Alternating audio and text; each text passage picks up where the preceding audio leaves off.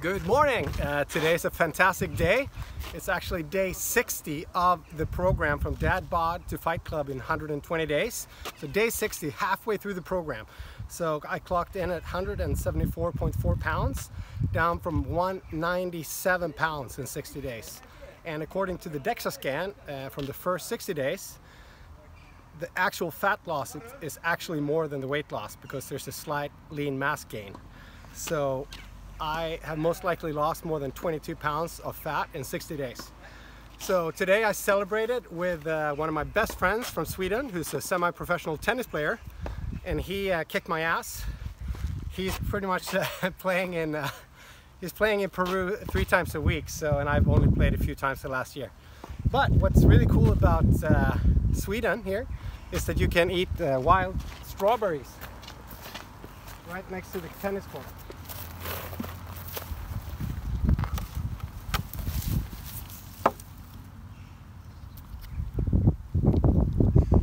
Very good. So that's just me, Veg Tyler, reporting in from day 60 of the program. Good luck, good luck out there.